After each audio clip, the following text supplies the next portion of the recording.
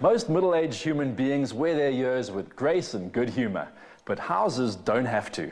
A renovation in the hands of Nico van der Meulen makes an aging home look brand new, and the proof is all around me. These modern lines that have transformed the 60s exterior are a hallmark of Nico's work. A Lifetime Achievement Award winner for his architecture, he insists that his stylish designs must serve functionality above all. I'm glad you got the old plans of the house because this looked nothing like this Yeah. before you got This your hands on it. was the old entrance before we started. As you Yeah. can see, this area is that area. But for the rest of it, it's still the footprint of the old house. And okay, we've gone double story. We added the beams, contrasting the steel against the uh, concrete beams. Awesome. Let's have a look at these pictures because you've got to get a real sense of what it used to look like. It's unbelievable how much change you've made. You've really stamped your, your touch, your Nico van der Meulen touches, the high double volume ceilings, the beams, the modern look, the lovely northern light coming in, which is quite a, quite a challenge as well. It's typically what we try to do is to get as much light into a house as possible. And uh, if that was just a wall, it would be so boring. So now you suddenly look through the house, you get that depth and layering, which immediately makes architecture more interesting. Avid supporters of local artists, the owners wanted their entrance designed around this deconstructed Rachard van der Meulen sculpture. It casts magical shadows at night and lends a welcoming personal touch to the strong lines of the house. I see from the original structure that this was actually single story. So you've completely opened all of this up and you've added an entire new level. Yes, we took out the current lounge, dining room, kitchen and created this one big open plan space. We added the scullery at the back, the bar there, and this outdoor patio area. Nico, it's so important that once you've got this great structure to work with, you color it in nicely, and that's where the interior design is so important. Yes, Romy did a beautiful job here, creating the interiors, and uh, it works very well with the structure we designed, so we were very happy with the work she's done. Without overcapitalizing with this renovation, project architect Chris Clark's work transformed the property. This light, I'm going to need my sunglasses. You got the right idea. this is Chris. How's it? All right, how's it, Chris? What are some of the challenges that come with working with an existing structure and then adding to that? Well, additions and alterations are always quite challenging because you have to build off of a existing footprint, but that, that forces you to think quite creatively to solve the issues that you have. What we try to do is we incorporated double volume areas in the lounge and dining area, which brings that lovely north light into the house. On the northern area, we incorporated a pool. It was originally designed to be quite close to the house, but we decided to move the pool to be closer to the boundary wall so that we could fence it off with balustrading um, for safety for the children. There's also a fire pit and boma so the clients can entertain from that space as well.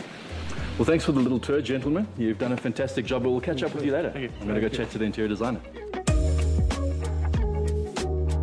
Inside the modern, contemporary shell of steel beams, vast windows and transparent balustrades, Romy Kaplan has used neutrals, textures and natural materials to make this a home you can relax in. There's so much glass in this house, it feels like I'm going to walk into the next window or balustrade or something. Yeah, so Nico designed the house with all the glass, the light. So we kept this very, very clean and simple and just with the glass, just to let the light in and just to give a very open space. Okay, now you are responsible for the interiors. We were saying earlier how important it is to fill in like a beautiful structure. Yes. Where did you start and what was your brief? So with my client, she wanted a very modern, simple, clean look. Um, but still a home, so she wanted the warmth and she wanted the feeling that she loves to entertain. So she wanted this whole open living space, which is what we did. And it's always quite tricky working with these huge double volume spaces and filling them nicely, but you've done it with these lights. You've kind of divided the two spaces. Yeah, so what I've done here is we did a cluster of the lights. It looked like petals. We've done two sections. We have defined the dining area and the living area And at different levels at as the well, different which is quite heights. So you can see it from here, and when you go down, you can see it just hangs all the way down. Yeah. Brass, black and organic detailing add crisp style to an otherwise laid-back main bedroom. My client basically said to me that she wants a very, very calming room, but she wanted a hint of drama. So what we went with was bringing in the black. So we have, like, if you look at the headboard and the ottoman and the chairs, it's all a plain cream linen fabric. And then we've just popped the black in with cushions and edging, trimming, and the table just to give a bit of drama in the room. I love what you've done with the oak on the walls. You've done it downstairs by the floating staircase as well. It's something quite different. Yeah, so I wanted to clear the walls in wood and it's got a lot of texture. If you look at the oak, it's got a lot of texture and it's a beautiful backdrop for the TV opposed to just leaving the wall with nothing. It's also quite different to wallpaper. It's a lovely, cozy, warm feel you've created here. If it's too cold outside, you've got a fireplace to chill. If it's nice and warm and sunny, you go chill outside on the floating bench. The number one thing that my client said that she has to have a swinging bench outside because she's always ch- chilling there, reading. She just loves that.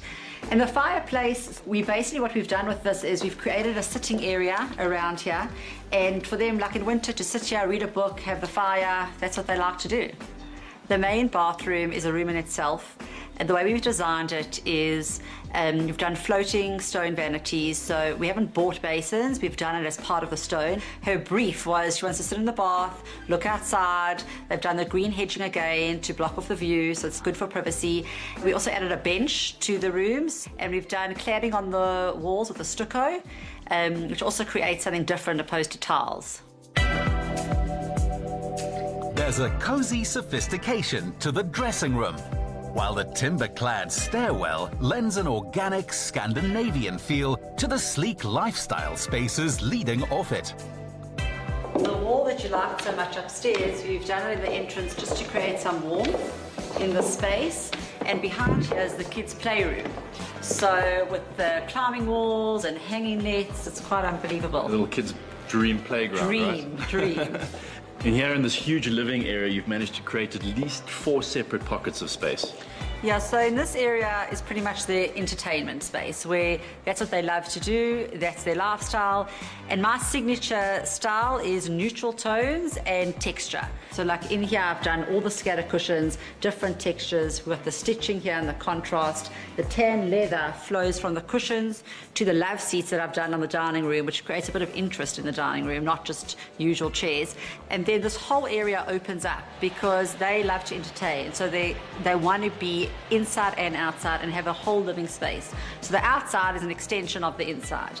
And here, which was my clients that actually had to have is big day bed couches. So we did oversized couches so they can lounge and sit comfortably and lie down and enjoy their outside living area. The outside dining area, the table's quite a feature. We've done a solid piece of wood with a glass inlay, which is quite different, and that goes into your bar area. And pretty much the area where everyone wants to be I'm is sure. the bar. Romy is especially proud of the bar table's texture and accessibility. In the kitchen, she's taken the pared down approach further than most. I love what you've done with the bulkheads as well, creating all these different levels of space. Yes, so this bulkhead defines my island. And in this kitchen, I wanted to go quite dramatic with the dark colour and then bring in the Neolith for the contrast, the lighter colour with the grey vein coming through, which is just a nice contrast against the dark charcoal. And we've used a lot of clever lighting, so at night you'll see that the lighting here shines and lights up the Neolith beautifully. Once dinner is served at the table, the cooking area becomes more of an elegant backdrop. I've designed the kitchen as part of the furniture. All the cooking is in the back, so this area stays clean and simple, and it's an extension of the furniture. So it's actually, when you're looking at the space, it looks like a beautiful built-in cabinet. What was your favorite space in the house to work on? Definitely the study. First, it's the first feature that you look in when you're outside. She's a life coach, so we've done it very, very calming, all neutral tones in this room to create a very calming effect. The bookshelves have got all LED strip lighting. We have styled that. The layering of this room for me is quite important. The wood cladding with the artwork on top of the paneling, all the ornaments has created a very uh, interesting space for her. And the best part is after a long day of work, it's just a short stroll to the bar. Yeah, that's it. The bar was top of the wish list for the man of the house. And leading onto the fire pit and veranda, it's the hub for all the couples entertaining. Thank you, Nico. Thank you. And congrats everyone again. This is a perfect example of what happens when architecture and interior design just gel perfectly. Yeah, when you have a great space to work with, it's quite easy to do a beautiful interior. Yes, this one worked out very well. Romy did a beautiful job inside. Chris did a very nice job with the exterior. So the whole project looks good. Oh, I think it all came together quite well. With this project as a benchmark, many of Nico's clients are rethinking what's possible on the existing footprint of their homes. Here's a cheeky one. If you had the budget for a cosmetic procedure or a home renovation, which one would you choose? Join the conversation on hashtag top billing and let us know. Coming up.